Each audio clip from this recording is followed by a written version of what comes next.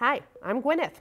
We decided to make a series of short videos to help you figure out how to follow what's happening at the legislature in Santa Fe, how to keep up with the issues you're interested in, and how to participate on those issues.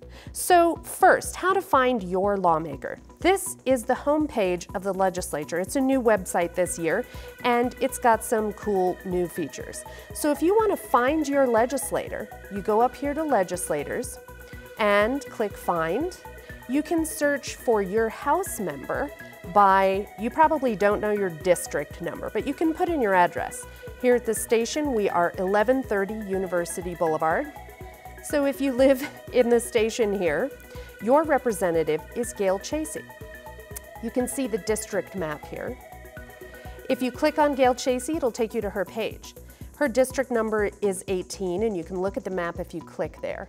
She's a lawyer, says attorney there. Now, this is her capitol phone number, and that phone number is only good during the legislative session when they're in the roundhouse. Same with that capitol office number. But if you're there, you can find her sometimes by walking up into her office, room 308 in this case. This is her personal office number, say at her law office in this case, and her home phone number really is her home phone number.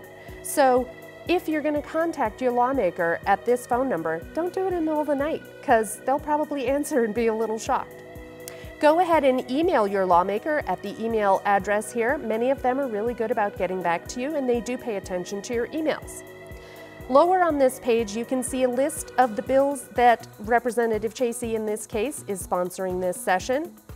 Here's the list, and if you want to find out more about, for example, disclosure of presidential candidate taxes, you can click on the bill number and it tells you all about it here. Uh, if you go back to her webpage, you can also see the committees that she's on, and in between sessions, you can find out more about what she's up to by following the committees that she's meeting with during the year. In the next video, I'll show you how to look up a bill and find out where it is.